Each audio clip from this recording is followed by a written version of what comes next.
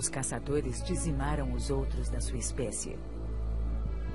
Durante cinco anos, ela teve que sobreviver sozinha. Mas este ano, seu mundo poderá mudar. Será que a leoa finalmente encontrará um parceiro? Ou permanecerá sendo solitária? Existe um lugar no sudoeste da Zâmbia tão remoto que até recentemente apenas os exploradores mais intrépidos o haviam alcançado. Este local se chama Planície de Liua. Trata-se de uma extensa planície aluvial que se estende por mais de 3.500 quilômetros quadrados.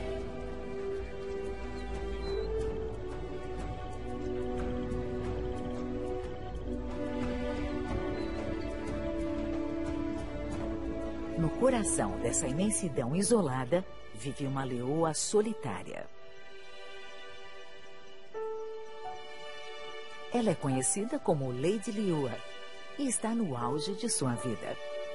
Todos os seus instintos a levam a encontrar um parceiro, ter filhotes e formar seu próprio bando. Mas ela não pode. Ela está sozinha aqui.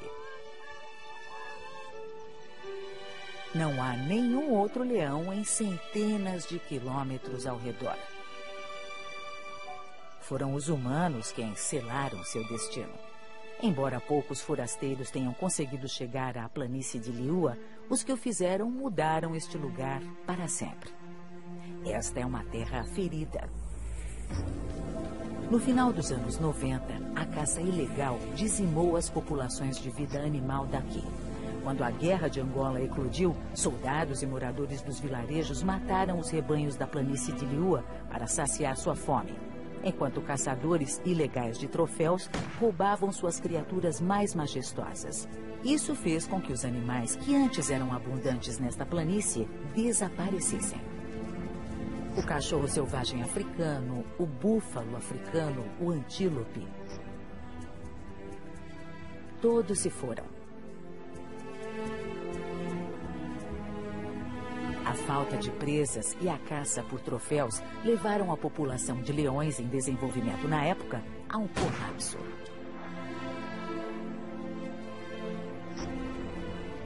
Hoje, os últimos leões de Liua estão atrás de vidraças, decorando no mundo todo casas dos caçadores de troféus.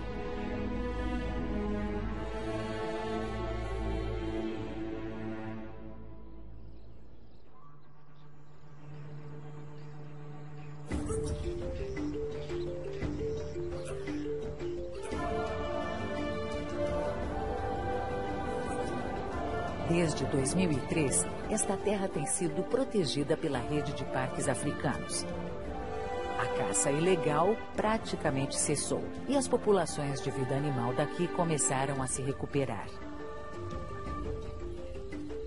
Os bandos de gnus foram retornando aos poucos à sua antiga glória.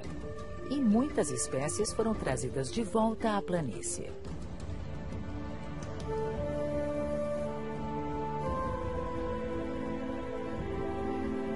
Quanto aos leões, só resta uma por aqui.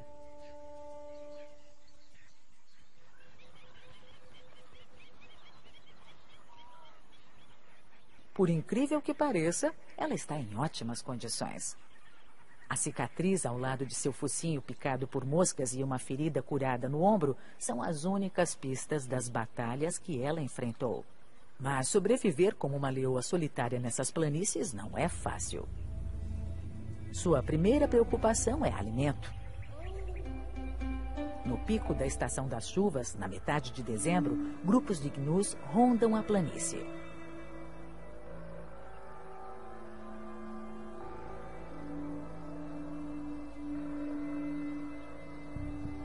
Nas densas savanas, Lady fica praticamente invisível.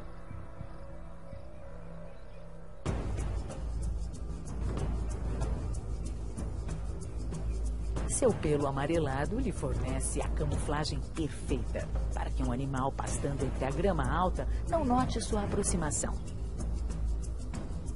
Mas os gnus preferem a grama baixa.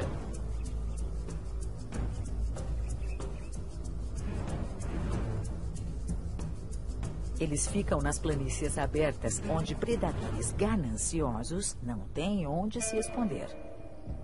Geralmente, os leões caçam em bandos que cercam a presa e a direcionam para uma emboscada. Mas Lady não tem essa vantagem.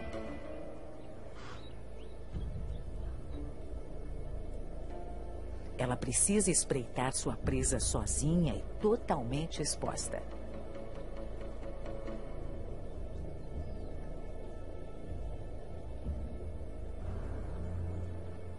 Ela precisa escolher bem seu alvo. Ela procura por um animal afastado de seu bando, desatento, com a guarda baixa.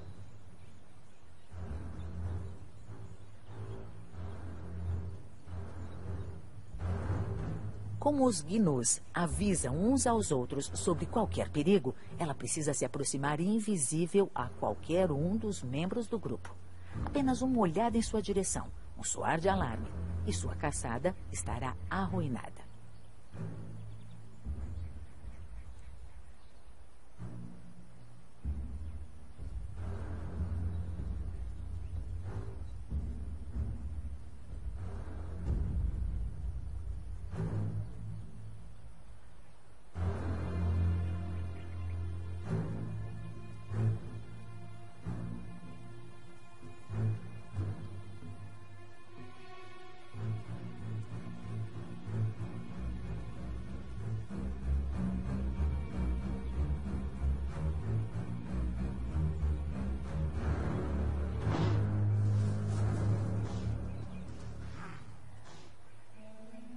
Caçada termina então em um segundo.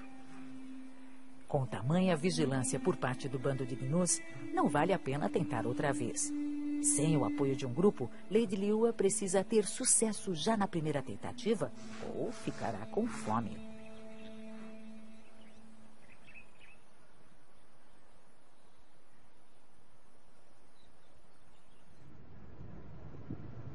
Em 2005, um cameraman sul-africano chamado Herbert Brower veio a Liua para filmar hienas malhadas.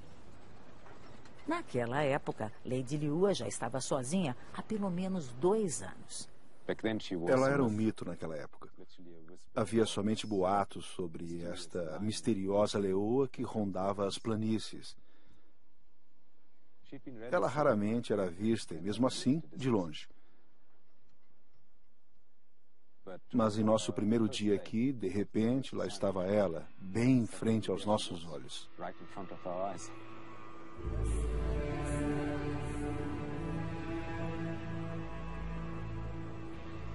Herbert é um dos poucos estrangeiros que viram Lady Liua e que podem confirmar que ela está viva e saudável.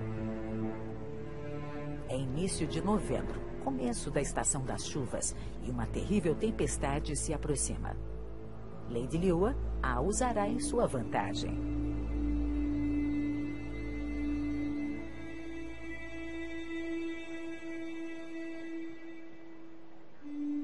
Herbert observa o início da caçada.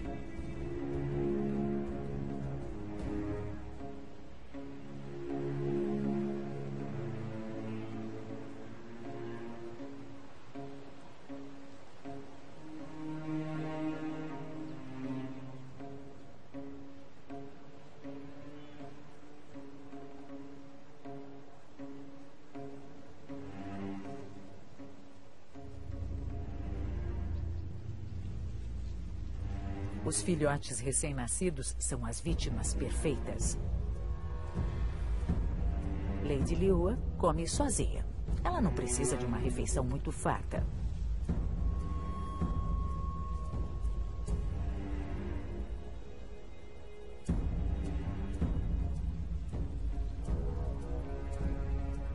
Apenas um filhote a manterá satisfeita por quase uma semana.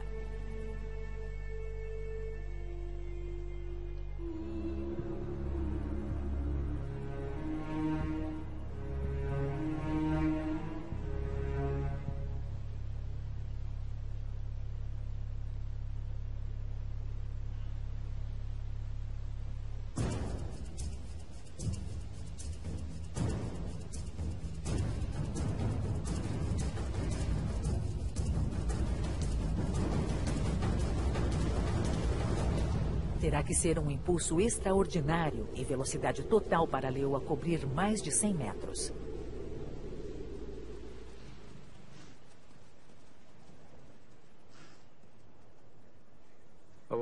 Fiquei maravilhado não apenas com a velocidade dela, mas com a distância que ela percorreu. Mas aquela noite eu também percebi que a caçada não é o único desafio que ela enfrenta aqui, nesta planície.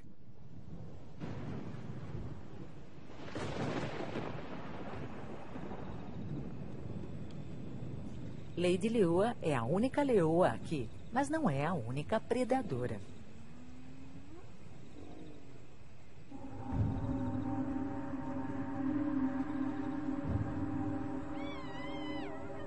As hienas malhadas são prolíficas na planície e uma ameaça sempre presente cada vez que anoitece.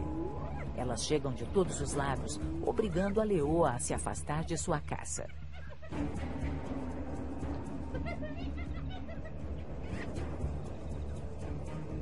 É uma diversão astuciosa e um roubo fácil.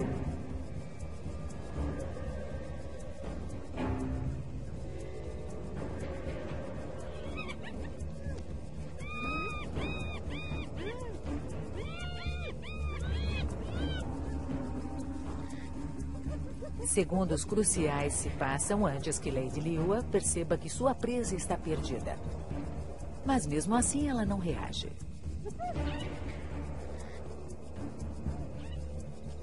Por sua pequena carcaça comida pela metade, não vale a pena brigar com meia dúzia de hienas.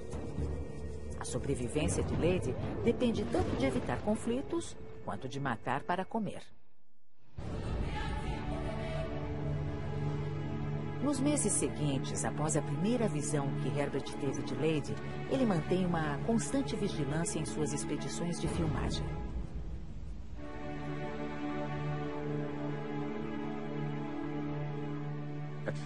Primeiro a víamos apenas de longe, mas após algumas semanas ela ficou mais à vontade com a gente.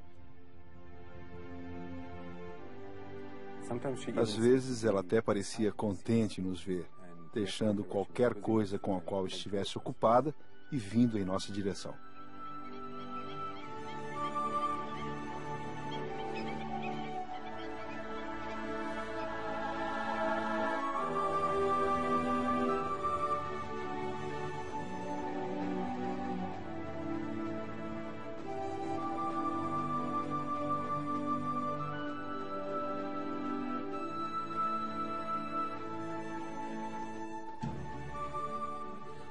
Eu acho que fomos os primeiros seres, em anos, dos quais ela se aproximou e que não correram dela. Ela foi devagar para ver até onde podia confiar em nós.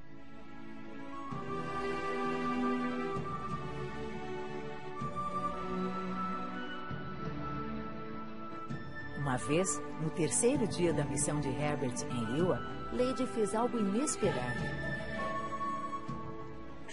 Ela veio na direção do nosso carro e, quando chegou bem perto, a apenas alguns metros, ela rolou, quase como se quisesse mostrar que confiava em nós.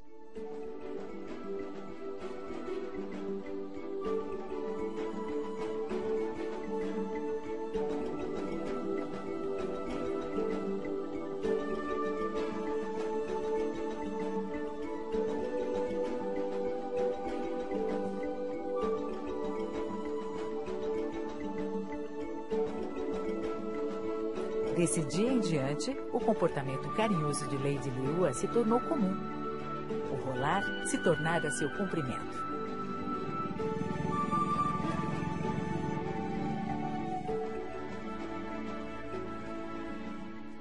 Sabíamos que ela nos reconhecia e, de alguma forma, ela começou a formar laços conosco. Do contrário, ela não faria aquilo tantas vezes.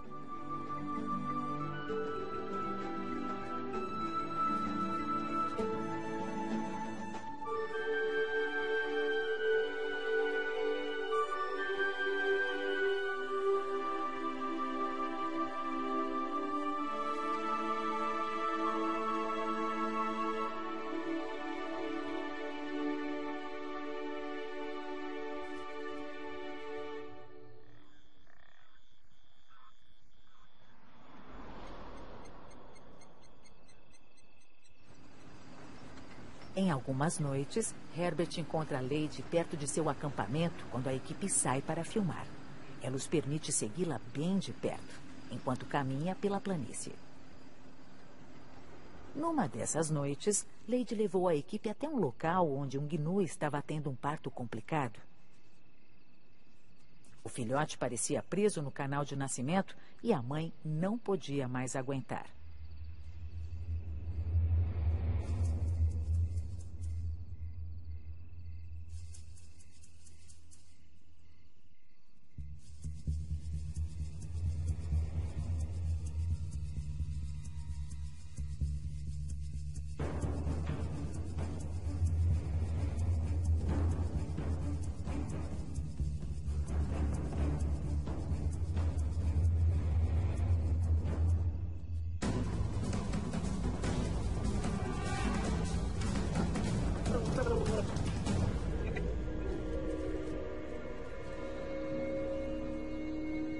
A cena acaba em segundos, um fim quase piedoso para a mãe em agonia. É uma grande caça para Lady, que a alimentará durante dias.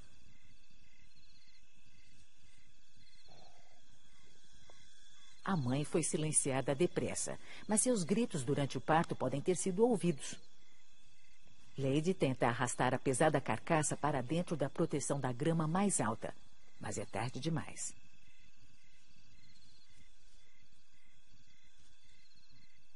Ela foi descoberta.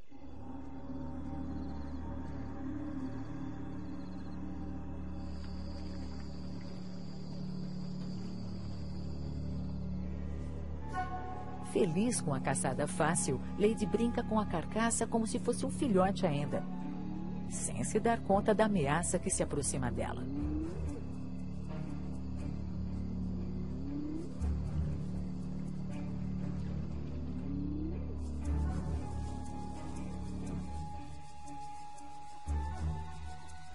Quando se dá conta, ela já está cercada.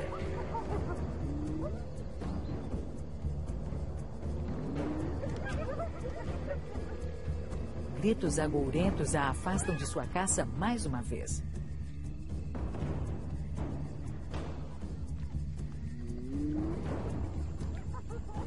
À medida que ela se move com dificuldade, as hienas aproveitam a oportunidade. Chegando de todos os lados, o bando de ladrões acaba com a carcaça, rasgando-a num verdadeiro estilo próprio.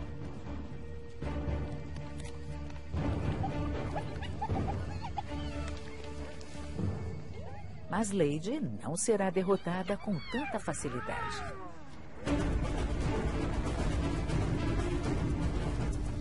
Dessa vez, por esta caça, vale a pena brigar.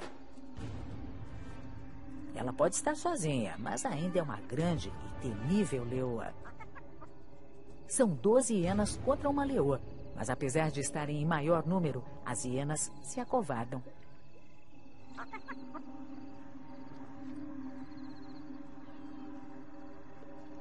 Ela come a carcaça sozinha, enquanto doze pares de olhos a observam das sombras.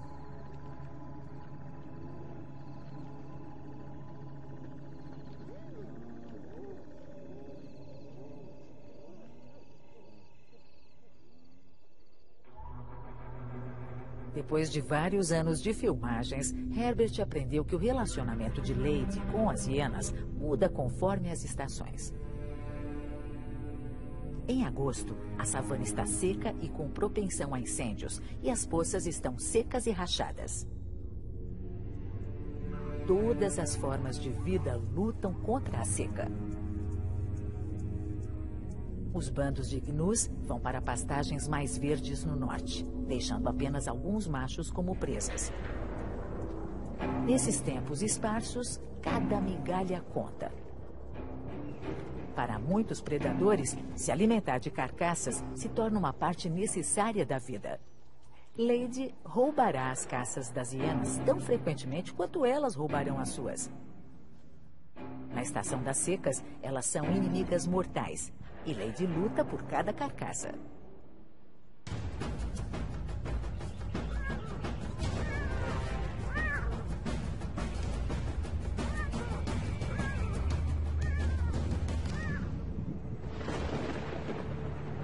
Mas, quando a chuva chega, em novembro, tudo muda. Semanas de chuvas sem trégua inundam a paisagem. Atraídos pela nova e exuberante vegetação, os bandos de gnus voltam para as planícies em uma migração que só perde em tamanho para a do Serengeti.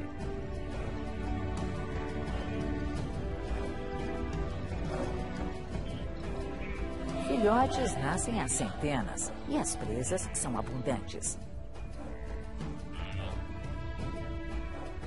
Lady se desenvolve mais na estação das chuvas, matando tão frequentemente que a caça acaba se tornando mais um esporte do que uma necessidade.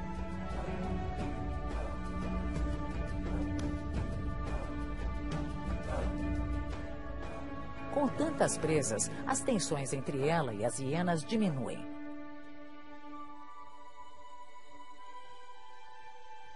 Às vezes ela abandona calmamente uma caça fresca preferindo rolar em frente ao veículo de Herbert, enquanto seu prêmio é pilhado. Com tanta abundância, dificilmente vale a pena brigar.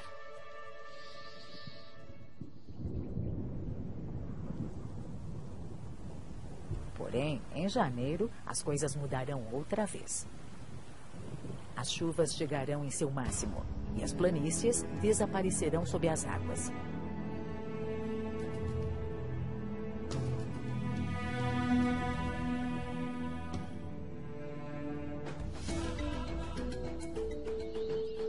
planície se torna altamente inacessível. Ninguém sabe como Lady consegue caçar no meio da inundação. Mesmo assim, estação após estação, a leoa solitária supera todas as dificuldades que surgem. Ano após ano filmando aqui nestas planícies, fui entendendo cada vez mais essa criatura e percebi que ela não só estava sobrevivendo, como também estava se desenvolvendo. Porém, havia outra coisa que ela não podia suportar: sua solidão, seu isolamento. Levei três anos para entender o quanto realmente ela estava sozinha. Depois de uma noite filmando, Herbert e sua equipe retornam ao acampamento. Mas eles não estão sozinhos.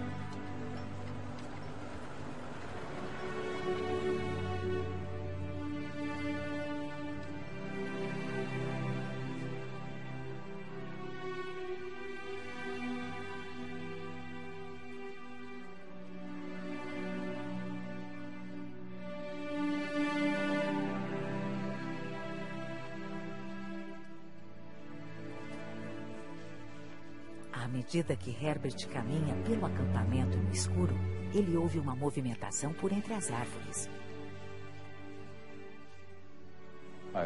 Eu ouvi alguma coisa e depois olhei e vi. Vi uma coisa no escuro e era ela. Mas não tive medo.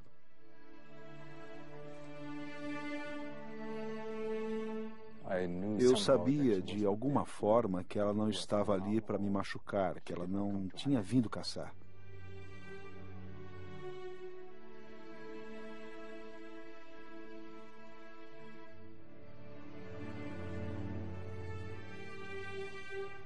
Naquela noite, de alguma forma, formou-se um laço entre nós.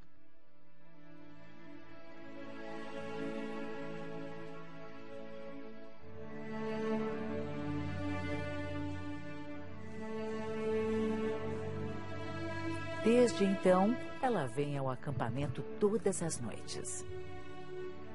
A maioria dos leões selvagens evita o contato com as pessoas, mas parece que o isolamento de Lady Liua a levou a buscar a companhia de humanos. Nunca a alimentamos, e ali não tinha nenhum alimento nem carcaça. Por isso não havia nenhuma razão para ela nos visitar, a não ser que quisesse nossa companhia. É incrível que um animal selvagem que foi fustigado, cujo bando foi massacrado por humanos, confie em nós e, de alguma forma, tome esse tipo de atitude. É absolutamente incrível. Just absolutely amazing.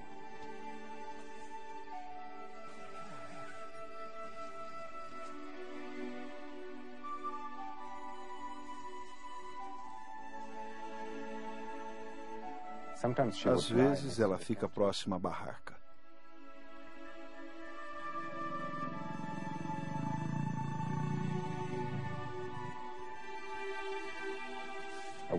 Eu durmo e ouço o ronronar dela.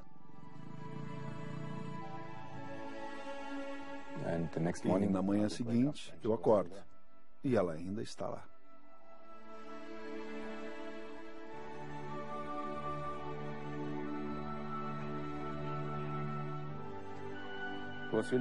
Foi realmente incrível vivenciar essa confiança mútua com um predador totalmente selvagem, que tinha tido apenas experiências ruins com seres humanos.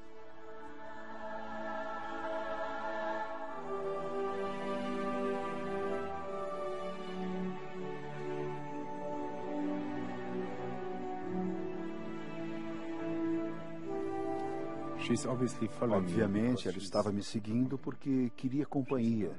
Ela estava se sentindo sozinha.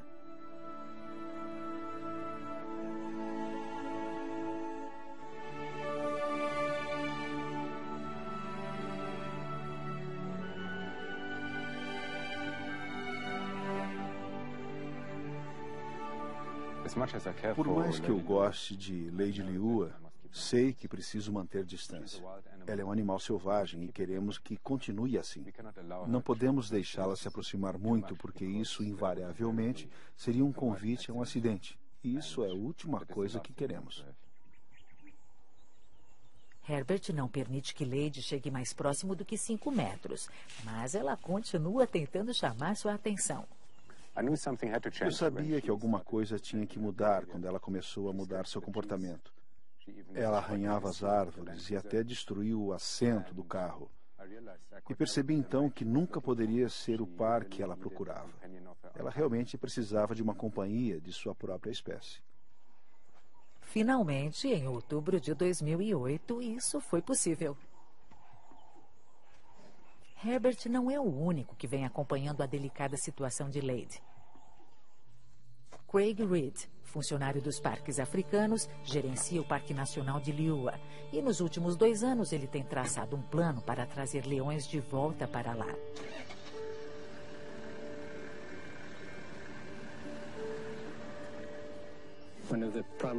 Um dos principais objetivos do gerenciamento de parques nacionais africanos é reabilitar os processos naturais que sempre aconteceram aqui. Os leões sempre foram uma parte importante nos processos que ocorrem aqui e por isso achamos que seria muito importante trazê-los de volta.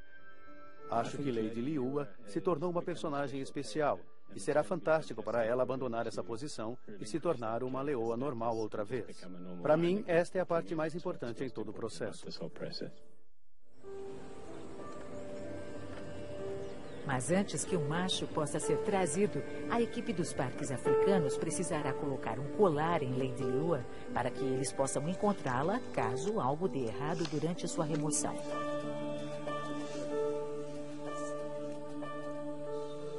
Apesar do cuidado especial do veterinário Ian Parson, um sedativo pode ser uma experiência traumática para qualquer animal selvagem. Mas será que vai ser suficiente para abalar sua recém-descoberta fé nos humanos?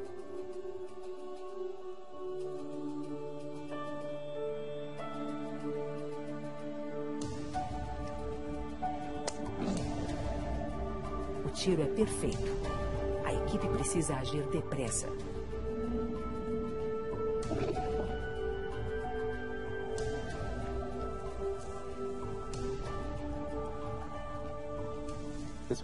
Essa foi a primeira vez que a toquei e devo dizer que ela tem uma presença incrível.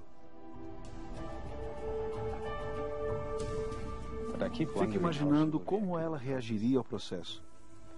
Realmente espero que ela não volte a se esconder depois de tudo isso.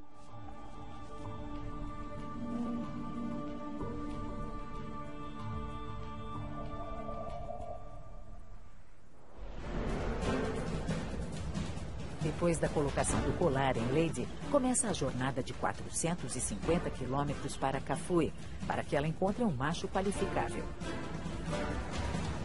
Depois de dias de busca, eles encontram um par perfeito. Um leão jovem, saudável e procurando um bando próprio.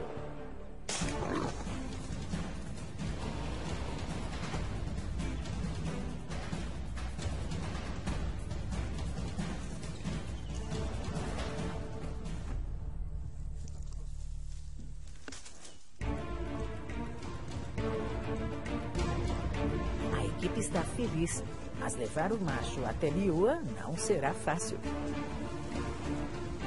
É a estação das secas e a longa estrada de volta está repleta de perigos.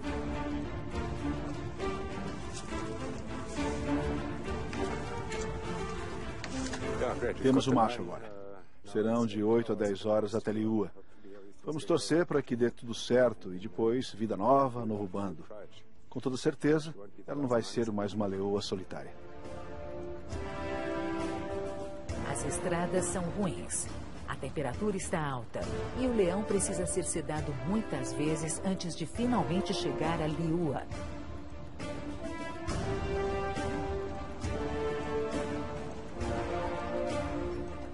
Depois de longas 11 horas, eles finalmente chegam.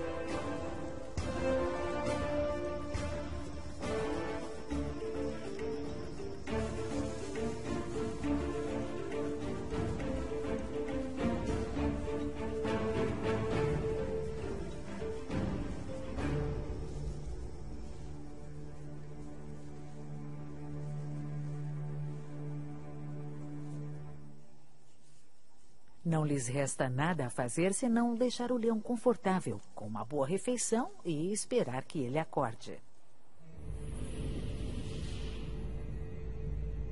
Mas algo dá errado. O leão entra em pânico e precisa ser sedado outra vez. Mas dessa vez, ele entra em choque e regurgita toda a comida. Ele não aguenta.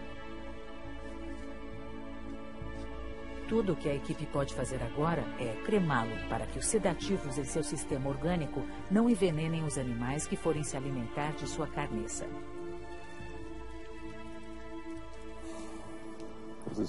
Foi frustrante. Este leão ia ser o início de um novo bando junto com Lady. E agora?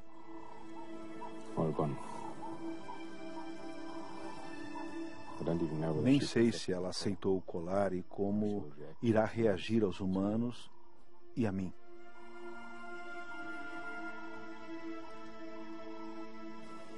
Vamos ver. Vamos ver como vai ser.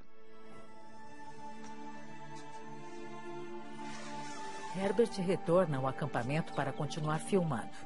Mas paira uma sombra sobre ele e a equipe. Ele ainda não sabe como Lady Liua irá reagir ao colar e se a relação deles mudou.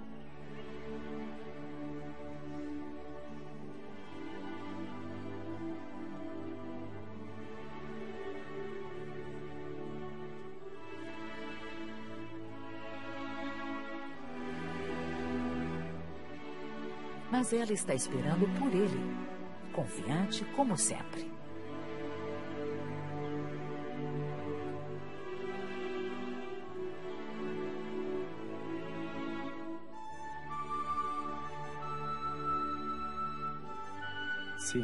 Vê-la de novo me fez sentir que não podemos desistir dela.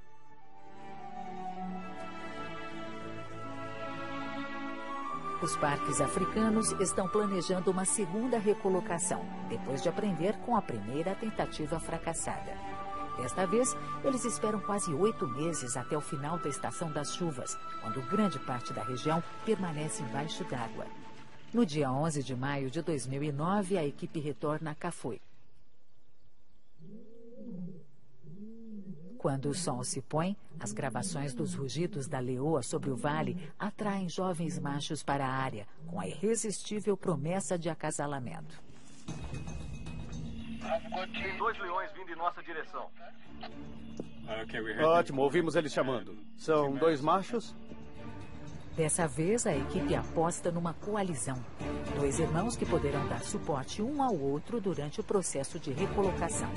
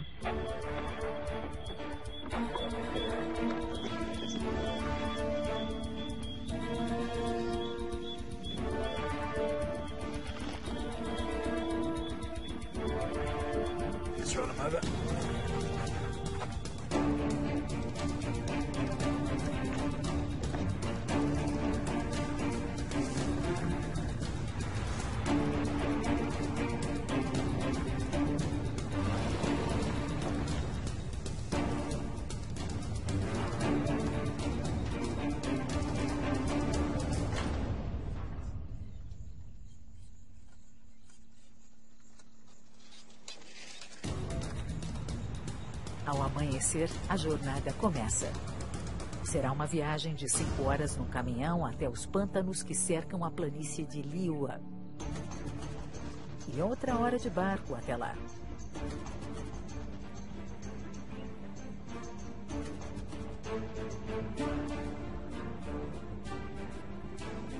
Atravessar os pântanos diminui a jornada pela metade.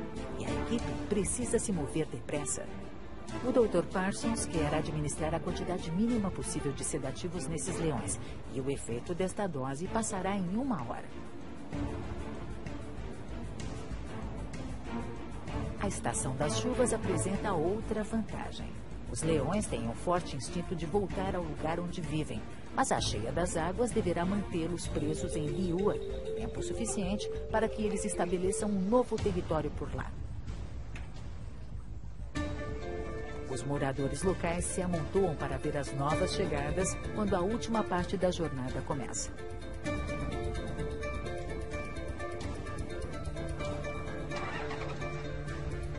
Será uma corrida de uma hora através das planícies de Liua até o cercado.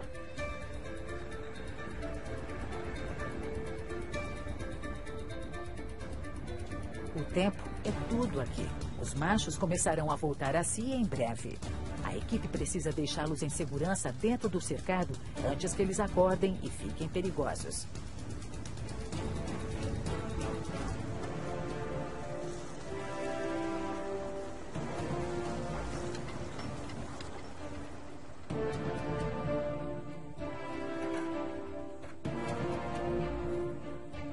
De serem soltos, um dos machos precisará usar um colar para que os movimentos da dupla possam ser monitorados se os animais apreendidos tentarem voltar para casa. Cada segundo é importante agora. Os leões estão tão grogues que mal conseguem se mover, mas o estupor causado pela droga vai passando a cada minuto. A equipe se move depressa e em silêncio para causar o mínimo de estresse possível aos leões.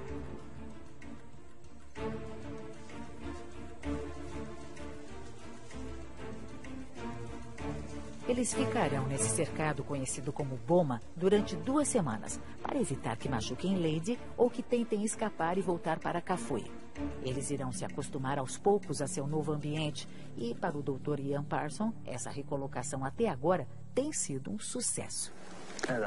Os leões chegaram, estão aqui agora, tranquilos, acordando devagar, saindo do anestésico, e espero que a tranquilidade continue.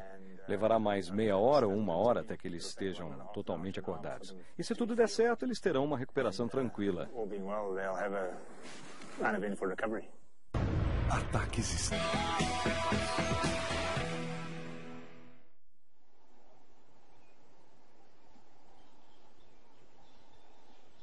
Nos últimos minutos, a equipe espera à distância para ter certeza de que os machos irão acordar sem complicações.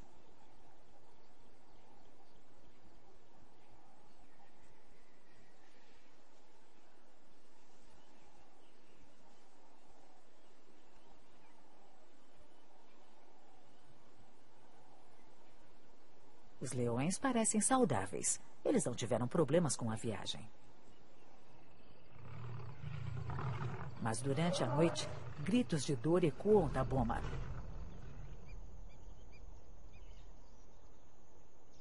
Craig sai logo cedo para ver o que está acontecendo.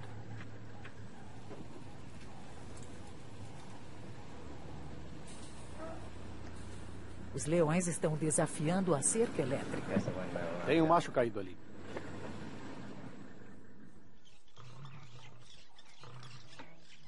Os machos estão agitados, com arranhões por causa de suas investidas contra a cerca, mas ilesos.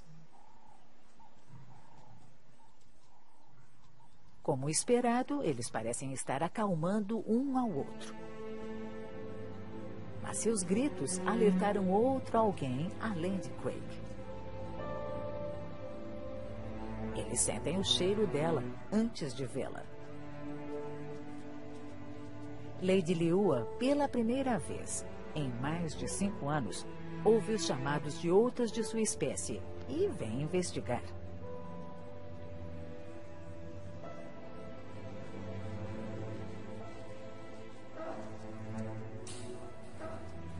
A experiência diz aos machos para ficar na defensiva.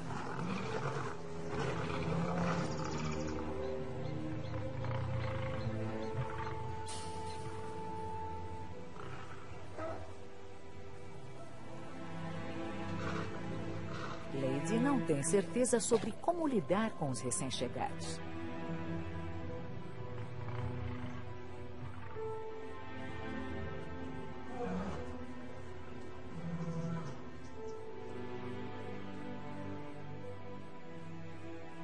Ela marca o território ao redor da boma para fazer valer seus direitos. Mas a tensão não dura muito. Durante os quatro dias seguintes, os leões se acomodam.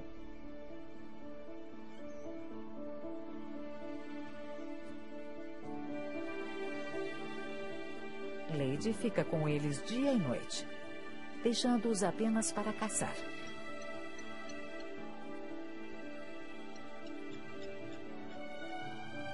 A agressão parece ter se transformado em curiosidade. E o medo em segurança.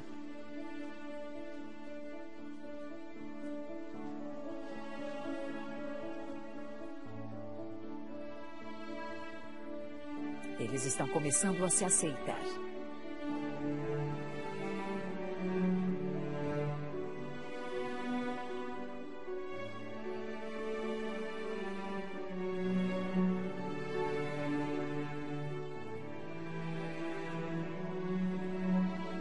Tudo parece estar saindo perfeitamente de acordo com o plano. Até que no quinto dia, Herbert e sua equipe fazem uma chocante descoberta. Quando chegam à boma, não veem os leões.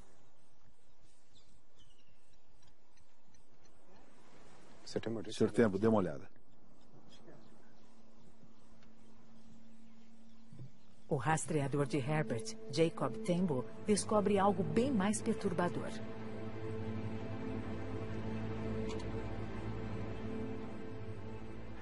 Tem um buraco na cerca, os leões devem ter saído por ali. Eles estão por ali. Vamos, vamos. Vamos ver se conseguimos encontrá-los. Vamos dar uma andada por ali e talvez a gente os encontre.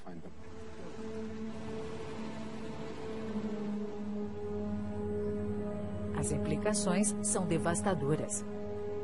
Se os leões foram para o norte, a direção de Angola, e o colar ficar fora de alcance, poderá ser o fim de mais uma recolocação.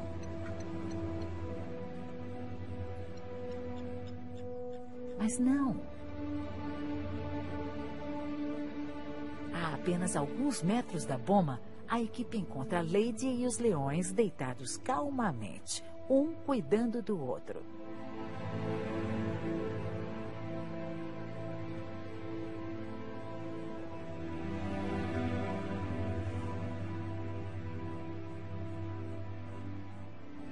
Lady começa a rolar.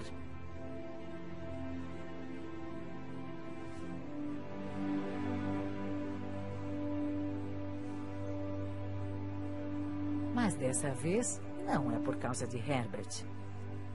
É para seus primeiros parceiros de verdade em sua vida de solidão.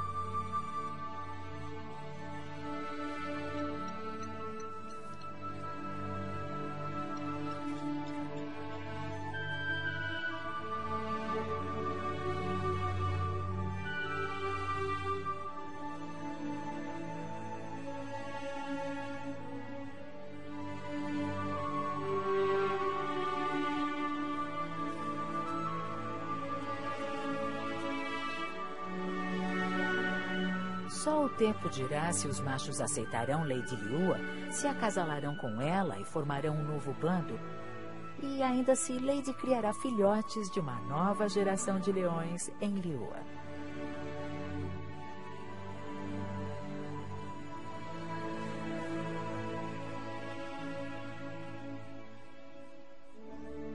Mas por enquanto, pelo menos, seu chamado não ficará sem resposta. Ela não é mais a leoa solitária.